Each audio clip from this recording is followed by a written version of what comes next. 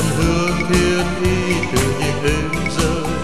Ngọc trân châu mười phương soi ánh quang ngời, trong chư thiên cung của ban ngàn đời. Hàng bồ tát thinh vang chúng sanh trên đời, đều hân hoan dâng ngàn tiếng hay ca ngợi. Kiếp vô lượng thọ nơi pháp thân cao vời, với tâm từ Phật đã thuyết cho người. Kiếm lâu xa không nghĩ bàn tam thiệt thế giới, nghe sông đều pháp tông. Con nay trì tùng, đến nơi đây đoàn mê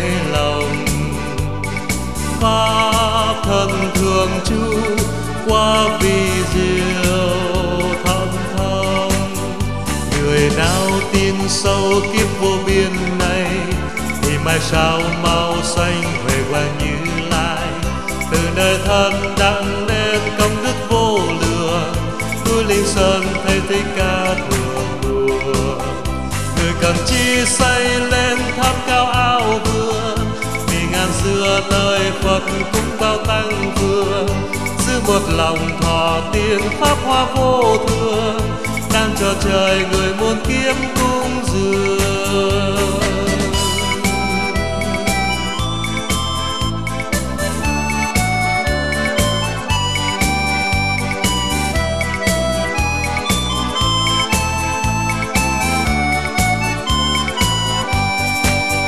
từ trên hư không những bông hoa trời, cùng trăm hương thiên y tự nhiên êm trần châu mười phương soi ánh quang ngời, trong chư thiên cung cua vang ngàn đời. Hàng bồ tát thinh vang chúng sanh trên đời, đều hân hoan dân ngàn tiếng hay ca ngợi. Kiếp vô lượng thọ nơi pháp thân cao vời, với tâm từ Phật đã thuyết cho người.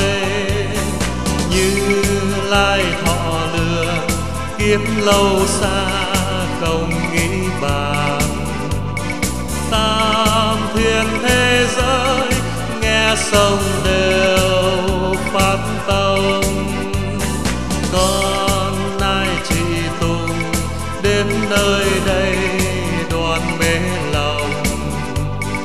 Pháp thân thường trú qua vi diệu thông thông người nào tin sâu sanh về qua như lai. Từ nơi thân đang nên công đức vô lượng, núi linh sơn thay thích ca thường mùa.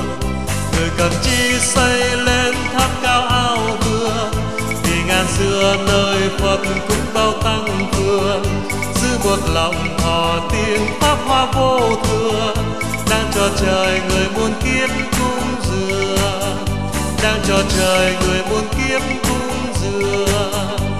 cho trời người muôn kiếp cung dường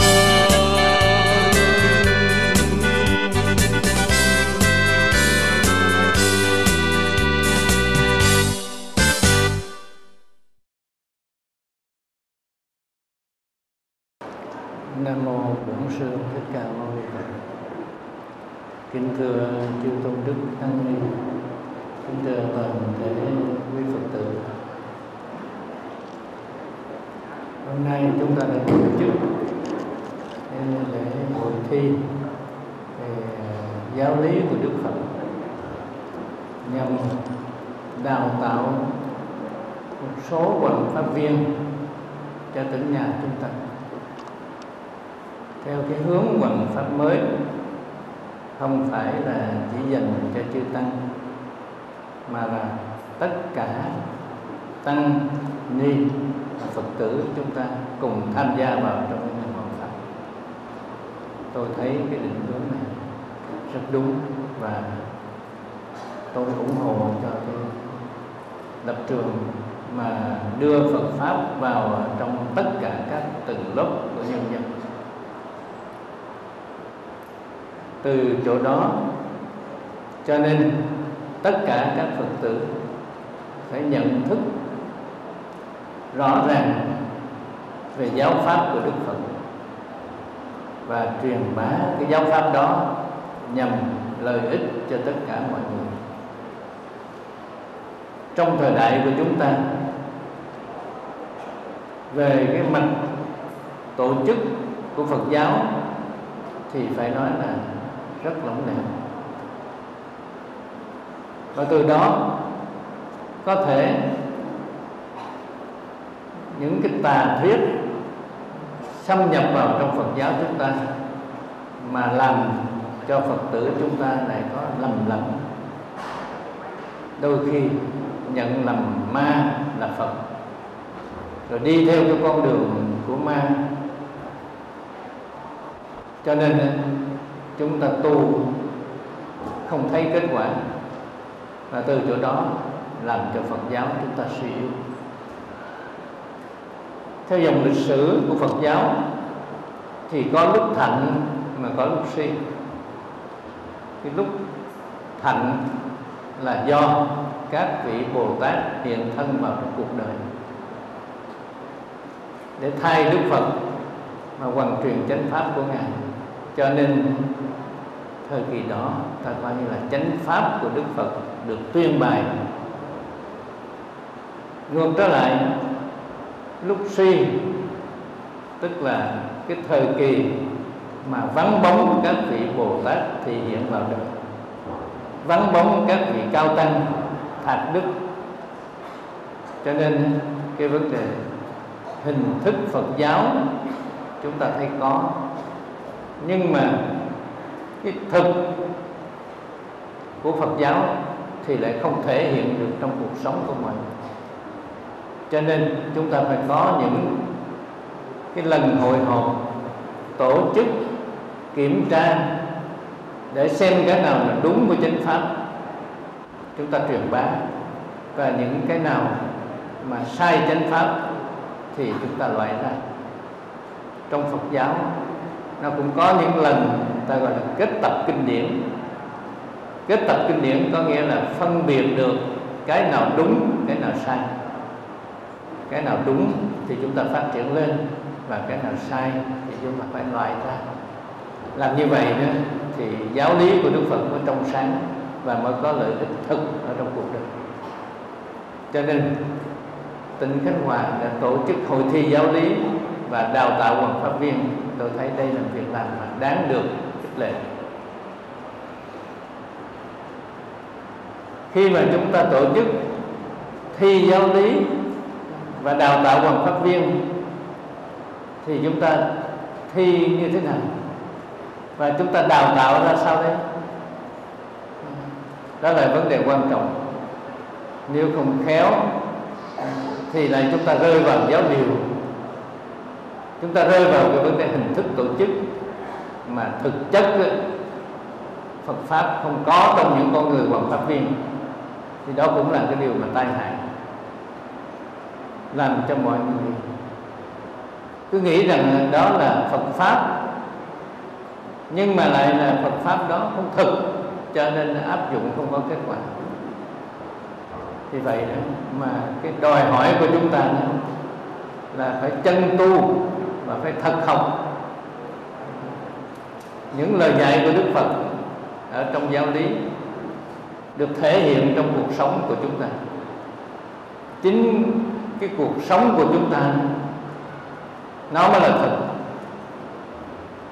Có những người giảng giáo lý được nhưng mà trong cuộc sống không đi đôi với cái giáo lý của Đức Phật thì cũng coi như là pha pháp của Đức Phật. Vì vậy đó mà học và làm hay là trong đạo Phật chúng ta này, nói Đức Phật là bậc minh hạnh túc. Tức là nói và làm là luôn luôn phải đi đôi với nhau. Vì vậy đó mà ta nói rằng, nói cũng là chánh pháp, mà yên lặng cũng là chánh pháp. Cho nên không phải là hoàn pháp là diễn giảng, nhưng mà quan pháp cũng có nghĩa là yên lặng. Nên yên lặng thì cũng là chánh pháp đó là một cái điều quan trọng mà tôi muốn đề cập đến tất cả các phật tử chúng ta. Học giáo lý và làm quần pháp viên cho tỉnh nhà chúng ta vì vậy đó, mà đức phật chúng ta khi khi xuất hiện trên cuộc đời này, thì tôi nói với các vị đó, là khi có đức phật ra đời khi có các vị bồ tát hiện thân vào trong cuộc đời, thì khi đó phật pháp chúng ta hưng thành thực. Thì chúng ta nhìn kỹ lại trong lịch sử chúng ta. Khi có đức phật thích ca ra đời và có các vị bồ tát hiện thân vào ở trong tất cả các thành phần của xã hội, thì lúc đó người ta nhìn lên, người ta thấy bức tranh của phật giáo đẹp. Hay nói là tuyệt đẹp đó ta gọi là thời chánh pháp. Đức phật ra đời. Ở đây chúng ta có nhiều cái quan niệm. Mà quan niệm về đức phật lịch sử thì ta bảo rằng đức phật vốn là con của vô tịnh phạn làm con người và tu rồi thành phật. Đây là cái quan niệm lịch sử của ta. Nhưng mà cái quan niệm này đối với người phật tử chúng ta chấp nhận hay là không? Cái việc quan trọng là nằm chỗ đó. Cho nên khi mà chúng ta đi hoàng pháp thì chúng ta nghĩ rằng à, đức phật là một nhân vật lịch sử. Thì tôi nói đó là việc sai lầm lớn khi chúng ta truyền bá chánh pháp. Cho nên đức phật thì không phải là nhân vật lịch sử. Nhân vật lịch sử là nhân vật lịch sử. Còn đức phật là phật. Phải phân ra cái này rõ. Tại sao vậy?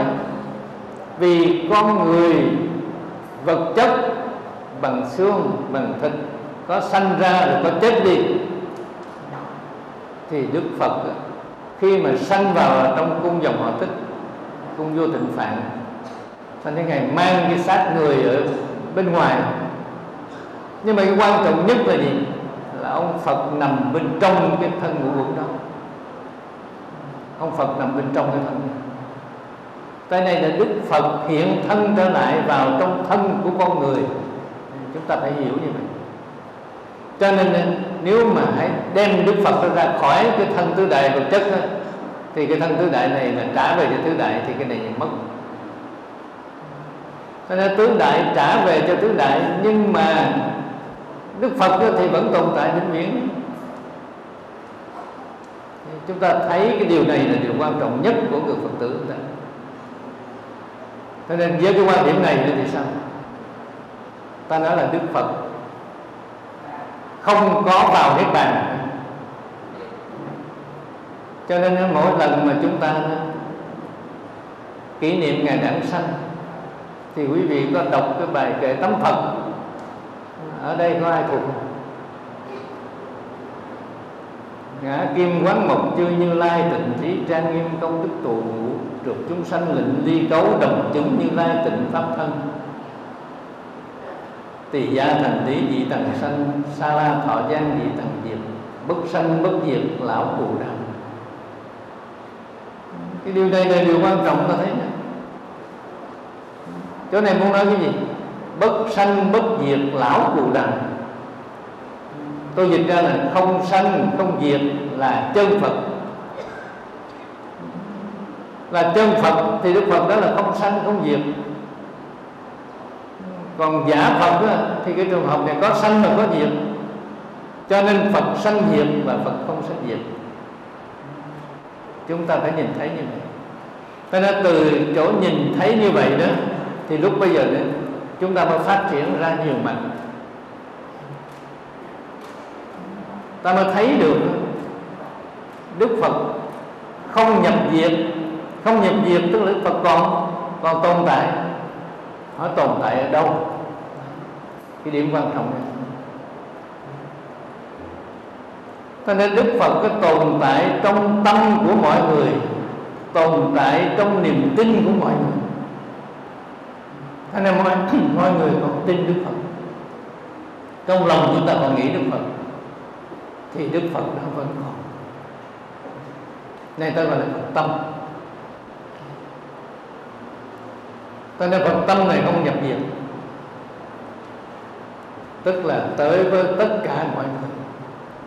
Cho nên từ cái chỗ mà phật tâm này nữa ta có cái niềm tin ở đức phật. Đức phật mới hộ niệm ngược lại cho ta. Do đó mà cái niềm tin của chúng ta trong lòng mỗi ngày nó nó trong sáng lên. Nó phát triển lên mà khi cái niềm tin chúng ta trong sáng, cái đạo lực chúng ta phát triển, thì đây là gì? Đây ta gọi là quá thân của đức phật. Đức phật thích ca ở ấn độ cũng như thế. Khi mà ngài cũng là con người, nhưng mà ngài có cái niềm tin, có một cái niềm tin rất lớn.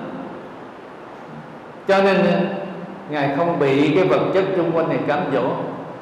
Do đó mà từ cái niềm tin này dẫn ngài đi vào trong trong cái thế giới của Phật hay của chư Phật.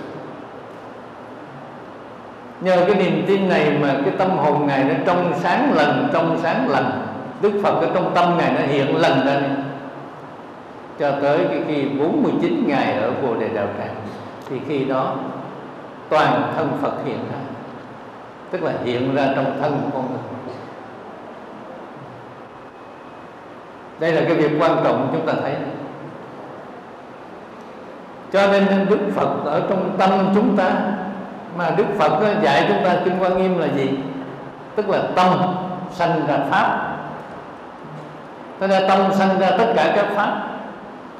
Cho nên trong Phật chúng ta, trong tâm chúng ta có Phật thì bây giờ nó, lần lần nó biến tất cả đều thành Phật pháp hết.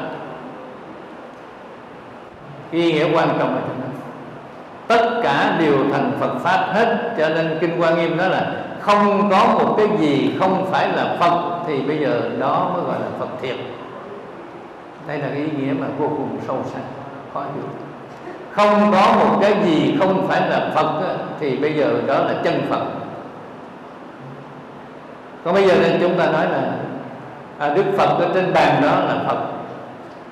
Còn tất cả mọi vật đó không phải là Phật và chúng ta không phải là Phật thì cái này sai.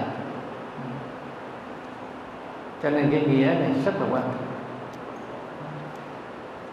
Cho nên à, Đức Phật nói là Phật là Phật đã thành còn chúng sanh là Phật sẽ thành.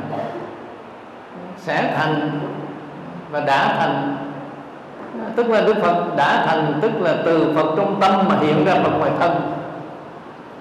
Còn chúng ta đó là sẽ thành có nghĩa là Phật trong tâm chúng ta có nhưng mà Phật ngoài thân chúng ta hiện chưa hiện ra được. Cho nên trên cái bước đường tu đó, chúng ta mới nhìn kỹ được ta thấy. Phật trong tâm thì ai cũng có nhưng mà Phật ngoài thân thì có người hiện ra được mà có người chưa hiện ra được trên bước đường tu chúng ta đó, làm sao mà hiện ra được cái thân Phật? Cho nên trong kinh Hoa Nghiêm Đức Phật dạy chúng ta là gì? Ngài Vô Hiền bảo rằng tâm là thiền thân là Phật miệng là pháp. Nên tất cả mọi người chúng ta khi mà tâm chúng ta là thiền có nghĩa là tâm chúng ta thanh tịnh tâm chúng ta sáng suốt gọi đó là thì khi tâm thanh tịnh, tâm sáng suốt, thì hiện ra cái thân bên ngoài đó. Và việc làm chúng ta đó là giống phật. Cho nên ta gọi là thân là phật. Rồi tất cả những lời nói của chúng ta phát xuất từ cái tâm thanh tịnh, cái tâm thiền đó. Thì đây là pháp. Đây là cái việc mà quan trọng nhất của người quần pháp chứ không phải là chúng ta học một số giáo điều rồi là chúng ta đi hoàn pháp. Không phải. Tâm chưa sáng, tâm chúng ta chưa sáng, tâm chúng ta chưa có đức phật, thì ở đây không thể hoàn pháp được. Có học giáo lý đó, nhưng mà trong tâm chúng ta chưa có đức phật. Tâm chúng ta chưa sáng, thì cái này chẳng qua là chúng ta nói lại những lời của Đức Phật. Cho nên, ở trên cái bước đường tu hành của chúng ta, làm sao đem Phật vào lòng, làm sao biến cái tâm chúng ta trở thành cái hành động mà có lợi ích như Đức Phật. Đó là cái việc quan trọng nhất mà cái người học phải thấy. Thì như vậy đó, chúng ta có phân biệt được Đức Phật lịch sử cho nên Đức Phật lịch sử. Ta bảo rằng là Đức Phật Thích Ca thành Phật ở cội Bồ Đề để đánh cái dấu mốc lịch sử đó. Mà bây giờ đây là chúng ta nói là kỷ niệm 2555 năm ngày Đức Phật vào Niết Bàn. Đức Phật nhập diệt đây là cái mốc lịch sử. Nhưng mà kinh pháp hoa thì dạy sao? Từ ta thành Phật đến nay trải qua vô lượng vô biên a tăng kỳ kiếp nhờ kinh pháp qua cảm thành thọ mạng thâm nhập pháp thân vĩnh hằng bất tử. Nhưng dùng phương tiện nó sẽ diệt độ. Đây là đức phật dạy. Thì bây giờ các quý vị nghĩ này, bảo là thành phật thì như thế nào? Nếu bây giờ người ta phân ra đức phật gọi là tam thân phật tức là đức phật có ba thân. Đức phật đó là có ba thân. Thứ nhất đó là sanh thân. Thứ hai đó là báo thân. Thứ ba là pháp thân. Thành ra ba cái thân phật này đó mà chúng ta nhận cho rõ để chúng ta tu tập theo thì đây là vấn đề vô cùng quan trọng mà tất cả các vị phải thấy sanh thân, tức là thân tứ đại. Thân tứ đại thì ai cũng có, và ai cũng biết, ai cũng thấy được. Đó chúng ta gọi là đức phật lịch sử. Đức phật hiện thân trên cuộc đời. Nhưng mà là sanh thân của đức phật, sanh thân tức là thân tứ đại, ngũ quẩn. Nhưng mà lúc bây giờ để quý vị thấy cái tứ đại ngũ quẩn của đức phật và cái tứ đại ngũ quẩn của tất cả các loài có cái gì giống nhau và cái nào khác nhau ta phân biệt cái này để ta, ta biết mà ta cho nên đức phật khi mà chưa đi tu cho nên chưa đi tu đó, thì ở trong lịch sử bảo rằng tiên a tư đà nhìn thấy đức phật khi mà còn nhỏ, mới sanh. Nhưng mà a tư đà đã thấy được 32 tướng tốt và 80 vẻ đẹp trong con người đó. Đây là cái điều quan trọng nhất để chúng ta thấy phật. Cho nên bây giờ chúng ta nhìn người, tất cả những người xung quanh chúng ta chúng ta thấy được coi mỗi người có bao nhiêu tướng tốt và có bao nhiêu vẻ đẹp. này đây là trên bước đường tu ta nhận ra chứ. Cho nên ờ, ta bảo là mỗi người có một vẻ riêng. Mỗi người có một cái đẹp riêng. Mỗi người có một cái tốt riêng. Ai cũng có. Nhưng mà không trọn vẹn như là thái tử Siddhartha thái tử Siddhartha có đủ có đủ tướng. Cho nên chúng ta nhìn kỹ rồi, chúng ta thấy trên cuộc đời này có người nhìn người ta thấy à, họ có cái tướng làm vua có người có cái tướng làm quan có người có cái tướng làm thợ. Nhưng mà có những người cái tướng ở mướn làm thuê. Thành ra ta nhìn kỹ rồi ta thấy tất cả mọi người trên cuộc đời này cái tướng hiện ra. Tướng đó là gì? Cái tướng nghiệp. Cái nghiệp tương là nhưng mà đức phật khi mà mới vừa sanh ra đã có tướng đó, tại sao có tướng đó? Là cái nghiệp tướng ở bên trong hiện ra. Cái nghiệp lành ở bên trong hiện ra. Cái tâm phật ở bên trong hiện ra ngoài cái thân tướng đó. Tất cả mọi người chúng ta đây cũng đều hiện ra cái tướng. Nhưng mà hiện ra tướng gì? Mấy thầy đó là phần nhiều là hiện ra tướng sa môn tướng sa môn tức là tướng thầy tu ta nên cái tướng thầy tu. Tướng thầy tu là cái tướng không kẹt vật chất. Cho nên có những người sống trên cuộc đời này Nhưng mà tâm họ hoàn toàn thanh thản. Họ không bị vật chất chi phối nữa. Thì đây ta gọi là cái tướng thầy tu. Rồi tất cả những người khác đó, thì cái tướng hiện ra là cái tướng làm chánh khách làm chánh khách làm danh khách là gì? Trong đầu của họ, trong tâm của họ đó, là chứa đựng những cái cái chính sách, cai trị, tổ chức, quản lý xã hội. Tại vì trong tâm đã nghĩ chuyện này, cho nên hiện ra cái tướng một nhà chánh khách. Có những người đó là trong tâm của họ đó, nghĩ tới làm ăn buôn bán kinh doanh. Trong tâm nghĩ như vậy cho nên họ hiện ra ngoài cái tướng. Tướng đó là gì? Doanh nhân. Đó. À, ta quý vị để ý kỹ rồi nhìn ra cuộc đời nhìn hết tất cả mọi nên nên có người chưa đi tu mà đã hiện tướng tướng giải thoát tướng tướng sa môn. Đây ta gọi là cư sĩ. Cho nên nhìn kỹ ta thấy à, tướng học trò tướng doanh nhân tướng chính khách rồi tướng thầy tu. Tất cả đều hiện cái này là sao? Từ ở trong tâm mà hiện ra tướng mình. Mà ở trong tâm này là gì là con người thực của ta. Cái con người thực của chúng ta là từ chỗ tâm. Cho nên nó chuyển tiếp từ cái tâm này cho tới cái tâm tâm sau nó cứ chuyển như vậy. Nó như là một cái số chuỗi.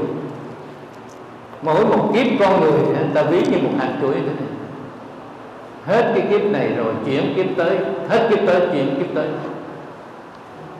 Mà Đức Phật đó, thì ngài gọi là cái ngôi nhà ngũ quận tức là mỗi một lần chúng ta tái sanh thì chúng ta xây dựng cho mình một cái ngôi nhà ngũ quẩn để chứa cái linh hồn chúng ta bên trong cái nghiệp bên trong. Chúng ta biết là nó như thế cho nên ở trong cái ngôi nhà ngủ quẩn trong cái tiềm thức này ta chưa cái gì. Tất cả những cái gì mà ta đã chứa trong trong ngôi nhà ngũ quẩn này đó thì nó là cái nguyên liệu để chúng ta xây dựng cái ngôi nhà ngũ quẩn. Kế tiếp đây là trên bước đường tu. Ta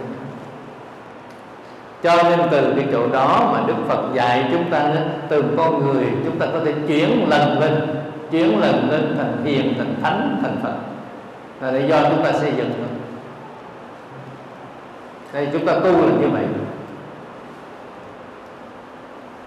Vì vậy đó mà trong cái thân ngũ quẩn của Đức Phật đã chứa sẵn một Đức Phật trong đó. Cho nên nó đã hiện ra ngoài một cái tướng phước đầy đủ. A Tư Đà bảo rằng nếu không đi tu thì ngài là chuyển lương thánh vương. Mà nếu đi tu là Phật là tại vì ở trong trong tâm đã có ông Phật. Đây là cái điểm quan trọng mà tất cả các Phật tử có thấy. Trong tâm chúng ta có Đức Phật chưa? Nếu mà tâm chúng ta có Đức Phật thì ta hiện thân là Phật. Nhưng vì tâm chúng ta chưa có Phật cho nên lúc bây giờ trên bước đường tu chúng ta đây đó là ta bắt đầu đem Phật vào lòng chúng ta trước. Mà đem Phật vào lòng đó, thì chúng ta gọi là niệm Phật tất cả các vị ai cũng niệm Phật chứ nhưng mà còn nhiều nữa là chúng ta nói niệm Phật. Nhưng mà chủ yếu là chúng ta kêu tên Phật hơn nữa. Nên chúng ta niệm Phật hay là chúng ta kêu tên Phật? Cho nên chỗ này nè nếu hay sai nữa thì không có kết quả. Cho nên trong cái lúc đó, đó tay ta lần bồ đề. Miệng chúng ta niệm phật. Nhưng mà tâm chúng ta nghĩ cái gì? Đây là việc quan trọng. Ba cái này phải hợp nhất lại được. Thân, khẩu, ý, ba cái này hợp nhất lại. Cho nên trong tâm chúng ta là có đức phật, ta luôn luôn giữ cái cái hình ảnh đức phật ở trong lòng chúng ta này đây ta gọi niệm phật cho nên có người ờ, họ không đọc tên phật, nhưng mà ta gọi là niệm phật. Tức là niệm phật trong tâm đó. cho nên trong tâm chúng ta có đức phật, luôn có đức phật, cho nên ta gọi là niệm phật. Còn trong cái lúc đó đó, quý vị niệm niệm phật, nhưng mà tâm không có đức phật, thì cái này nguy hiểm. Đây là việc sai lầm lớn, cho nên không có kết quả, mà ta gọi là kêu tên phật. Kêu tên phật, chứ không phải là niệm phật niệm phật có nghĩa là trong tâm chúng ta có đức phật. Lúc nào cũng có đức phật. Vì vậy đó mà tôi trên bước đường tu tôi ít niệm phật ra tiếng mà tôi niệm phật trong tâm nhiều hơn. Mới ban đầu tôi tìm một cái tượng phật mà tôi quý trọng nhất, ta gọi là cái tượng đẹp nhất đi, mà ta thích nhất đấy thành ra tôi để ngay trước mặt tôi. Ở trên bàn làm việc cũng vậy. Đến cái tượng phật và tôi luôn luôn cứ nhìn cái tượng phật đó. Chú tâm vào tượng phật đó để đem đức phật này vào trong lòng. Cho nên đem được đức phật vào trong lòng, cái này cái bước đầu chúng ta tu nó mới gọi là đem phật vào lòng, chứ không phải là phật có sẵn trong tâm. Hai cái này khác cho nên khi chúng ta đem vào lòng, thì khi nào ta đem vô thì có, mà khi nào ta không đem vô thì mất. Ta nghĩ chuyện khác chứ còn khi mà phật đã có trong lòng chúng ta rồi đó phật đã có trong lòng chúng ta rồi đó, thì lúc nào cũng có. Đây là cái việc quan trọng. Mà cái người đó lúc nào cũng có phật ở trong lòng đó thì chắc chắn là hiện ra cái hảo tướng. Nếu mà chúng ta nghĩ liên tục đây là cái việc quan trọng nhất. Cho nên phần lớn những người tu mà họ gọi là nhập thất đó họ nhập thất, họ không tiếp xúc với ai hết, không làm bất cứ việc gì hết. Mà luôn luôn trước mặt họ đó là có tượng phật. Họ chỉ lại phật và và tụng kinh, ngồi thiền. Họ làm liên tục như vậy đó, trong khoảng thời gian độ tuần lễ đó, họ ra thất, quý vị thấy sao? Nhìn thấy họ như là đức phật. Cho nên kinh nghiệm tu tôi thấy tôi nhớ hồi năm 1973 tôi mới về nước. Cho nên khi mà tôi mới về nước, tôi chưa nhận trách nhiệm nào của giáo hội hết. Tôi chưa làm cái gì hết.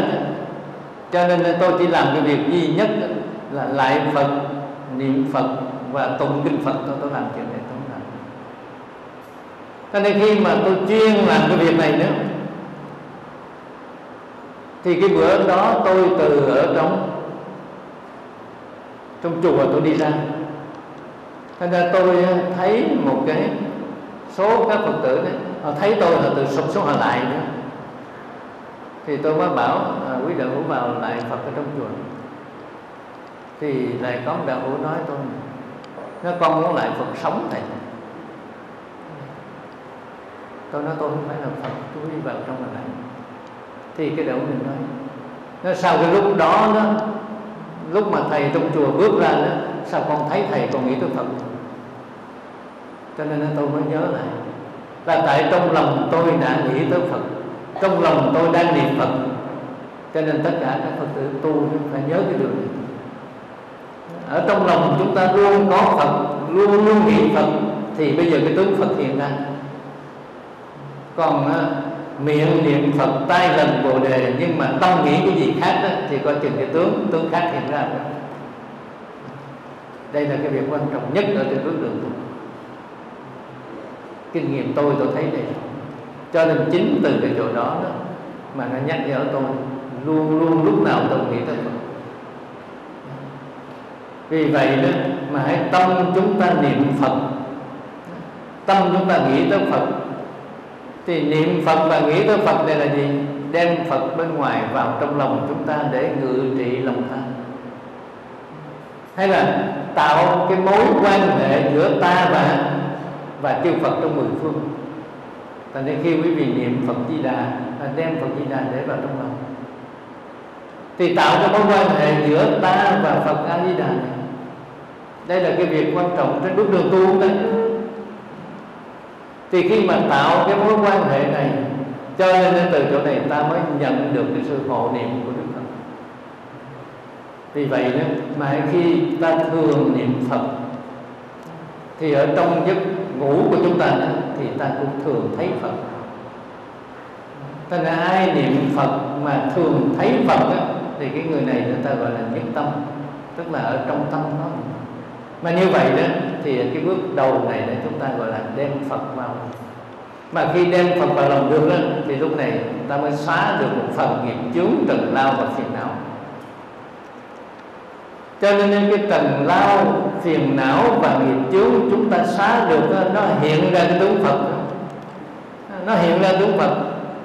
Thì bây giờ đó người khác đó, họ nhìn họ thấy ta họ nghĩ tới phật. Họ nhìn họ thấy ta họ phát tâm. Thì đây là chúng ta làm cái việc hoàn pháp. Cho nên trong lúc đó, đó tôi chưa làm trưởng ban hoàn pháp. Nhưng mà tôi phát hiện chính trong lúc đó là cái hoàn pháp thực tại vì mọi người thấy tôi là phát tâm. Họ thấy tôi là nghĩ tới phật. Cho nên cái thực chất của hoàng pháp đó là quý vị nên nhớ cho tên ai họ thấy ta mà họ phát tâm bồ đề? Họ thấy ta họ nghĩ tới phật. Dầu ta không nói gì hết ta không làm gì hết. Nhưng mà trong lúc đó thực là hoàng pháp. Còn trong lúc đó, ta nói ta giảng kinh điển của đức phật thật nhiều nhưng mà người khác nghe không phát tâm không nghĩ tới phật và không có niềm tin ở phật, thì đây chẳng qua là bài giảng suông mà không có ý nghĩa. Đây là trên cái bước đường cho nên cái hoàn pháp của chúng ta là cái chỗ này đức phật dạy chúng ta là cái chính là cái tâm cái tâm hoàn pháp này chúng rồi từ cái chỗ đó tạo nên cái thân tướng bên ngoài khi mà tạo lên cái thân tướng bên ngoài đó mọi người nhìn thấy cái tướng giải thoát, thì cái này là thân quan pháp. Cho nên khi khi mà mã thắng tỳ kheo đi vào ở trong thành vương xá khất thực, thì lúc bây giờ để trưởng lão xá lợi phất mới nhìn thấy cái tướng giải thoát của ma thắng tỳ kheo, thì ông liền chứng được sơ quả và ông mới đi theo mã thắng tỳ kheo tới tịnh xá để gặp đức phật. Và ông đắc được quả là thì như vậy đó, mã thắng tỳ kheo là người hoàng pháp. Còn bao nhiêu người khác đi giảng dạy liên tục, nhưng mà không ai phát tâm hết, thì cái này không phải là hoàng pháp, cái nghĩa của đạo phật. Thì các vị trở thành hoàng pháp viên thì nhớ như vậy cho nên ờ, mỗi ngày chúng ta tới đâu ta gặp ai, ta làm cái gì và có người phát tâm không? Có người về chùa có người tu nếu hay có thì ta hoàn pháp. Còn nếu mà không có, coi như ta không làm gì. Nhưng mà trong cái lúc đó ta tới, ta thuyết giảng mà làm cho người khác nghĩ ngược lại đó, thì cái này là phá pháp phá pháp đây là trên bước đường tu đó chúng ta cho nên mã thắng quần pháp ở trong yên lặng. Rồi đức phật chúng ta đó ta nhìn kỹ chúng ta thấy cái khi mà ngài thành phật rồi có nghĩa là phật ở trong tâm mà hiện ra phật ngoài thân rồi. Thành ra hiện ra phật ngoài thân thì ông phật này có một sức thuyết phục người ta rất lớn. Nên trên cái bước đường tu hành này của chúng ta đó, tu sĩ hay là cư sĩ mà người nào có sức thuyết phục mọi người hướng thiện thì ở đây chúng ta biết họ đã gần đến vô thượng chánh đẳng giác theo lời dạy của Đức Phật trong kinh Pháp.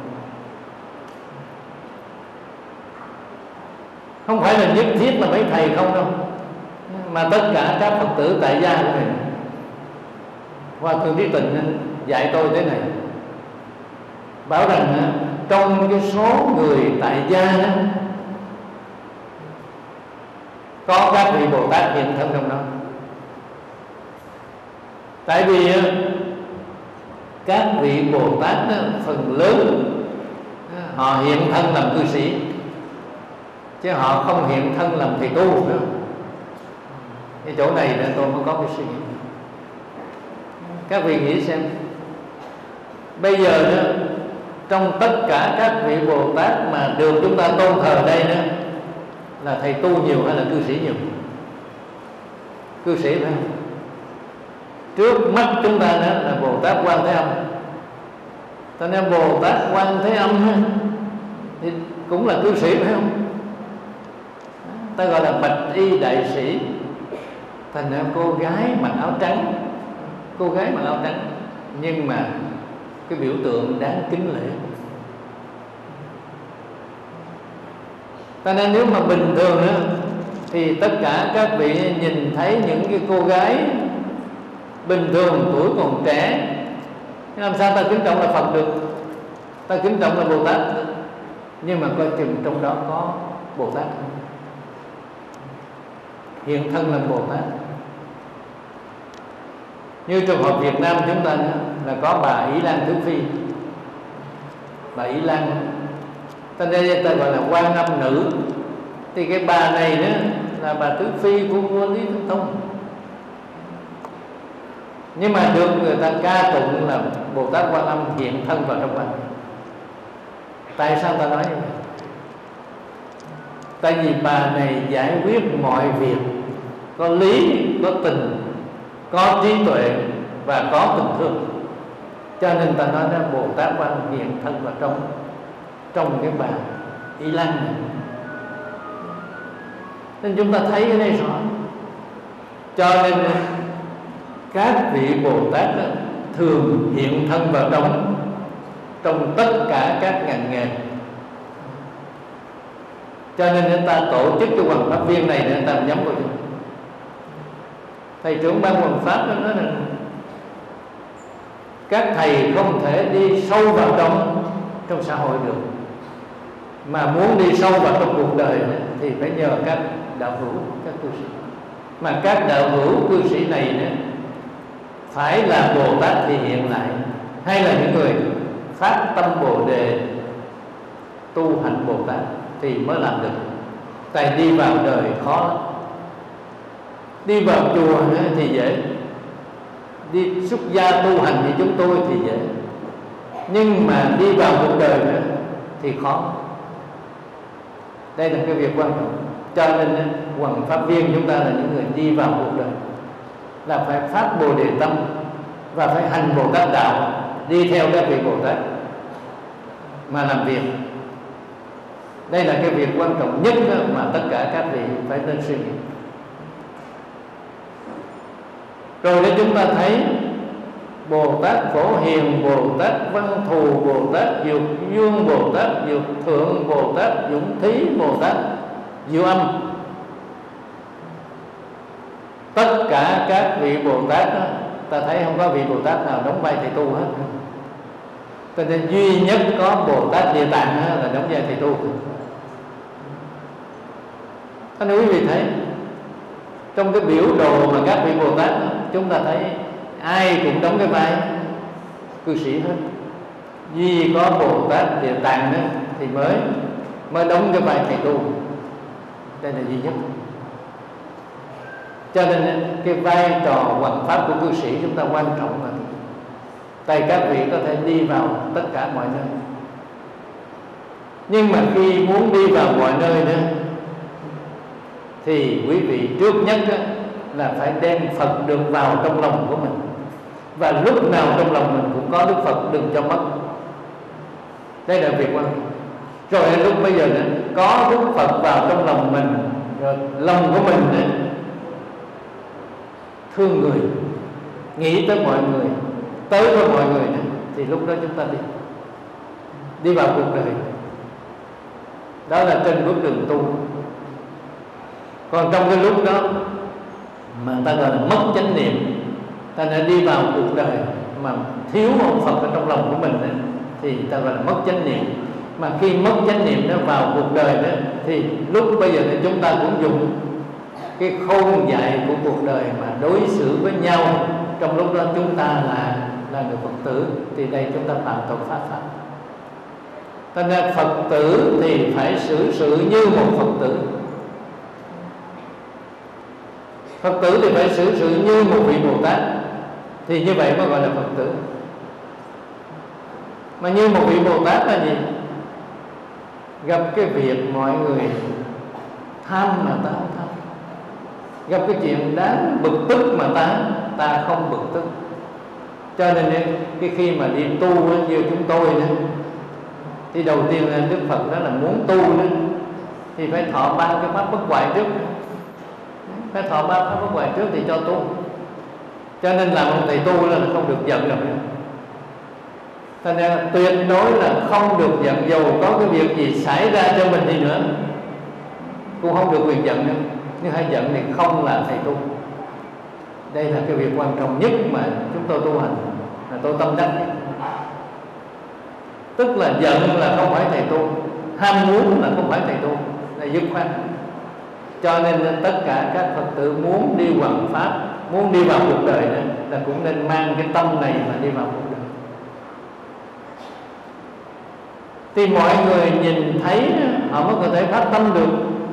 Tại ta vào đời bằng tấm lòng của chúng ta, lòng thương người của chúng ta mà ta đi vào đời.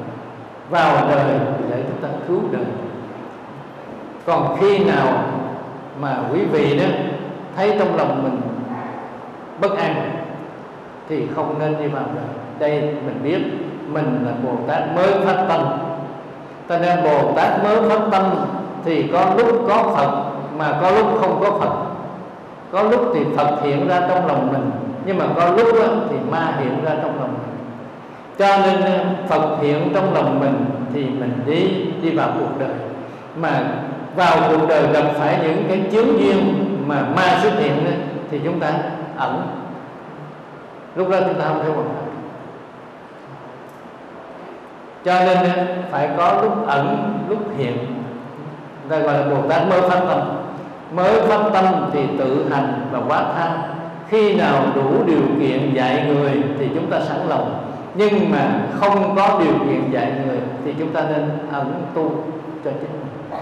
Luôn luôn giữ cái tâm bồ đề mình đừng cho mất đừng để cho cái bực tức nổi dậy đừng để cho cái ham muốn nổi dậy đừng để cho cái tính toan của con người nổi dậy trong lòng chúng ta. Mà trong lòng chúng ta phải có đức phật ngự trị. Khi có đức phật ngự trị thì lúc bây giờ đó lòng chúng ta mới sáng ra. Mới sáng ra rồi đó, thì lúc bây giờ ta hoàn thành được. Tại vì ta thấy được mà. Khi mà lòng chúng ta sáng rồi đó thì bây giờ đó không cần không cần giáo lý nữa. Nhưng mà ta tới chỗ nào? Ta gặp ai? Ta ứng xử? Tất cả cái này đều hợp lý hợp tình hết. Cái này nhờ có phật ở trong lòng chúng ta. Thì lúc bây giờ chúng ta mới áp dụng giáo lý. Đó là trên bước đường tu. Còn nếu mà trong cái lúc đó chúng ta chưa thấy được hay là lòng chúng ta chưa sáng được đó, thì chúng ta áp dụng không đúng chỗ không đúng người không đúng lúc đó, thì có hại hơn là có lợi đây là trên bước đường tu. Cho nên hòa thượng trí tịnh dạy tôi đấy khi mà đi hoàng pháp thì nên suy nghĩ ta nên gặp ai? Và ta nên nói cái gì? Và lúc nào? Ở đâu? Bốn cái việc này ta sẽ ở đâu nói được? Cái chỗ đó nói được mà chúng ta không nói ta tới ta nói chỗ khác đó, thì sai mà nó sai chỗ thì đâu có kết quả đâu. Cho nên trên bước đường tu cái điểm này quan trọng. Cái chỗ đó phải nói cái đó. Nhưng mà ta ta đem cái này ta nói chỗ khác đi thì này sai. Tại vì á, mỗi một quốc độ nó khác nhau mỗi một thế giới nó khác nhau. Cho nên nên đức phật thích ca xuất hiện trên cuộc đời này ở thế giới tam bà ở trong thời ngũ trường thì đức phật giảng pháp theo kiểu này. Nhưng mà cái pháp của đức phật thích ca đây đó đem về trình độ của đức phật a di đà người ta không dùng được. Tại sao vậy? Là bên thế giới cực lạc đó, cái tên cái tên ác không có. Nhưng cái tên ác còn không có này. mà làm sao mà có địa ngục ngạ quỷ súc sanh ở đấy?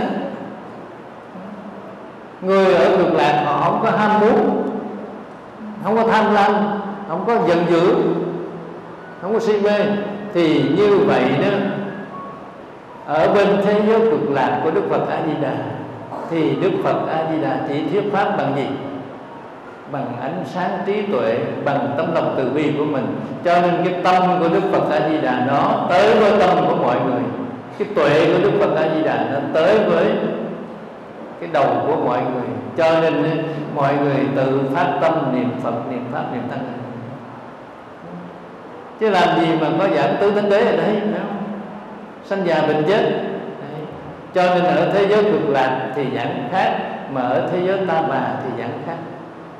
Cho nên thực tế một chút nữa đó là tôi nói ở tại thành phố Nha Trang này nữa thì khác, nhưng mà tại thành phố Hồ Chí Minh khác tại Việt Nam chúng ta thì khác, mà tại Hoa Kỳ thì khác nữa. Đây là trên bước đường tu. Không chỗ nào giống chỗ nào hết. Vì đây là gì? Là phương tiện. Phương tiện tức là huệ phương tiện.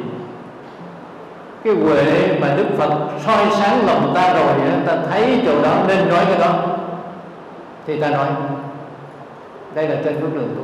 Các vị là một pháp viên nên nhớ được ta định rồi, ta tới cái chỗ này để mà ta nói một cái việc gì đó. Nhưng mà vì ta là người có trí tuệ cho nên khi tới đó rồi ta thấy ông nên nói, không nên nói cái này. Thì thôi, không nói. Đây là trên bước đường. Tu còn bây giờ thì cứ nói mà không cần suy nghĩ, nguy hiểm vô cùng. Gặp những cái chuyện không đáng nói mà ta nói thì cái này chết đấy. Tức là nói ra thì chết. Cho nên cái việc này nữa đã nói ờ, với cái ông bí thư tỉnh ủy đây để góp ý thì bao giờ gặp ông người ta mới nói. À, nhưng mà bây giờ không gặp ông mà ta ức quá ta chịu được ta đem ra ta nói với mọi người thì quý vị nghĩ sao? Nguy hiểm vô cùng. Có thể nói rằng là bị bắt bị ở tù là chuyện tất tức là nói không đúng người không đúng chỗ thì tốt trở thành xấu thành cái ý xây dựng chúng ta trở thành ý phá hoại. Đây là trên bước đường tu đó, quý vị nhận nhận kỹ cho mình. Cho nên có trí tuệ rồi, được đức phật soi sáng lòng rồi, cho nên ta nhìn ta thấy. Cho nên ta nhìn, ta thấy được cái điều này. Mà cần phải nói với ai? Thì bây giờ đã có đức phật soi sáng lòng ta rồi, thì đức phật đã đã bổ xứ đức phật đã chỉ đạo cho nên tất cả cái nhân duyên này tự hội ngộ trở lại mà chúng ta làm làm đạo được. Đây là trên bước đường tu. Còn lòng chúng ta chưa sáng mà ta học được ít giáo lý rồi ta nghĩ mang cái này đi ra giảng dạy thì coi chừng coi chừng phạm phải cái chỗ đó, phạm lầm thuốc độc. Thuốc độc tức là biến thuốc mà trở thành độc, tức là không đúng bệnh, không đúng bệnh thì thuốc nó trở thành độc. Nhưng mà đúng bệnh thì độc nó trở thành thuốc nên đúng bệnh mà độc trở thành thuốc đó, thì cái này nó coi như là hai ngàn năm trước ngài long thọ bồ tát đã nói rồi. Cho nên ngài long thọ bồ tát đã nói là kinh pháp hoa đó là lấy chất độc làm thuốc để trị người đó, để chữa người chữa bệnh cho người. Đây là cái điều quan trọng chất độc mà biến thành thuốc nếu ông thầy thuốc biết. Còn thuốc mà biến thành chất độc đó, là các vị tu mù tức là các vị thanh văn cứ nhắm mắt mà làm cho nên vừa thí mạng mình mà vừa khổ cho người khác. Đây là trên bước đường. Cho nên Phật giáo Ấn Độ bị tiêu diệt là chỗ này ta nên biến thuốc mà trở thành chất độc đi. Cho nên thuốc tức là pháp của Đức Phật dạy nhằm phát triển con người. Nhưng mà cái lúc đó Phật giáo Ấn Độ đó xây dựng nên một cái xã hội tiêu cực hoàn toàn, thụ động hoàn toàn, cho nên nó bị hồi giáo, bị ấn giáo tiêu diệt hoàn toàn. Nhưng mà ở Việt Nam chúng ta đó là biến chất độc thành thuốc cho nên ờ, Việt Nam chúng ta là sử dụng kinh Pháp Hoa, kinh Duy Ma, kinh Hoa Nghiêm, kinh Bát Nhã. Đây là lấy chất độc biến thành thuốc để cứu người. Do đó mà ta xây dựng được cái thời đinh lê lý trần. Chất độc làm thuốc cứu người là gì? Tại vì ờ, cái giáo lý của đức phật ờ, là rất cấm kỵ cái vấn đề sát sanh vấn đề sát sanh. Nhưng mà ở đây đó người ta khai cái giới sát đi. Nếu không khai cái giới sát ra đó thì cái trường hợp này không có cái việc mà trần nhân tông đánh thắng quân nguyên mông. Ta nên không có không dám giết đó, thì cái trường hợp này đó là giặc nguyên nó tới nó làm cỏ mình rồi. Nhưng mà cái thời nhà trần khai cái giới sách tay giết người để cứu người. Cái giết người để cứu người này, ta nên giết người để hạn chế được cái cái ác của họ. Đây vẫn có câu chuyện mà đức phật khi hành bồ tát đạo, quý vị nhớ. Giết một tên tên cướp biển mà, để cứu 500 thương thuyền. Thì 500 thương thuyền sau này đã trở thành ra những người đệ tử trung thành nhất của đức phật. Đây chúng ta thấy. Cho nên cái này gọi là khai khai giới sanh. Giới này là giới mà cấm kỵ nhất của chúng ta. Nhưng mà bây giờ Việt Nam mới dám khai cái này ra để mà bảo vệ quê hương, bảo vệ đất nước, thì lúc bây giờ thì chúng ta mới có cái cái Phật giáo vàng son thời lý. Nhưng mà làm cái việc này đó là bảo vệ đất nước, bảo vệ quê hương và bảo vệ Phật pháp chúng ta chứ không phải vì cái tham vọng cá nhân của Trần Nhân Tôn. Cho nên khi mà thắng giặc xong rồi đó hết việc rồi đó, thì ông xuống tông làm thiền sư tu hành. Đây là cái điều quan trọng nhất của Phật giáo Việt Nam. Cho nên biến cái chất độc làm thuốc. Cái chất độc là khai giới sát là nguy hiểm vô cùng. Nhưng mà nhờ khai giới sát này nữa mà Phật giáo Việt Nam mới có thời gian son bây giờ chúng ta mới nói tới lý trần. Chứ nếu không có cái này thì không có cái Phật giáo lý trần. Mà không có Phật giáo lý trần thì cũng không có cái Phật giáo ngày nay chúng ta. Đây là cái việc quan trọng. Cho nên cái này là gì? Tức là nhờ có cái trí tuệ của thiền sư vạn hạnh. Cho nên nhờ có cái trí tuệ của thiền sư đại đăng, nhờ có cái trí tuệ của của pháp sư ngô chân lưu các bậc tu hành đắc đạo có trí tuệ rồi mới thấy được cái nào đáng khen chứ không phải bây giờ là tôi nói như vậy xong rồi đó là quý vị đó bắt đầu khai giới sanh hết đó. Khai giới sanh hết. Thì này nguy hiểm vô cùng. Đây là trên bước đường hay là cái trường hợp năm 63 chúng ta tranh đấu đó. Con số người họ phản đối chứ, họ nói à, Đức Phật ờ, đâu có dạy chúng ta những điều đó không có dạy chúng ta tranh đấu đâu có cho phép chúng ta làm đó. Nhưng mà ta làm cái đó là chúng ta trái lại với giáo lý của Đức Phật.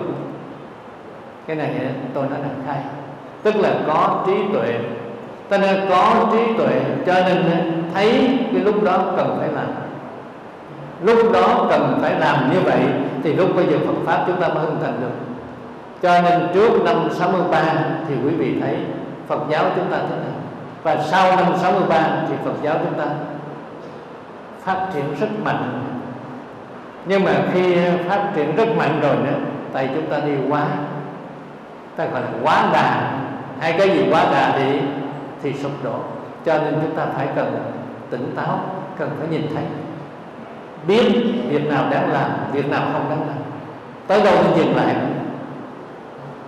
Cho nên đáng lẽ phải dừng lại thì chúng ta dừng lại thì chắc chắn tốt. Nhưng mà vì dừng lại mà chúng ta không dừng lại, chúng ta đi tới nữa, thì như vậy chúng ta sẽ sụp đổ. Đây là trên bước đường tu và kinh nghiệm của tôi. Cho nên lúc nào cũng tỉnh táo, lúc nào cũng sáng suốt, lúc nào cũng niệm phật để phật gia bị tới cho ta, để chúng ta ứng xử trong mọi tình huống, để làm cho cuộc đời này nở hoa, để làm cho đạo chúng ta tốt thêm lên thì chính như vậy nên là chúng ta hoàn thành. Thì nhân về thăm đây tôi có một số các cái ý nhỏ như vậy nên muốn chia sẻ cùng với quý vị. Và mong quý vị suy nghĩ kỹ và áp dụng trong cuộc sống làm hoàng pháp viên của mình để trước nhất là phát triển được Phật giáo tỉnh nhà chúng ta ở trong một tầng cao mới. Nam mô Bổn Sư.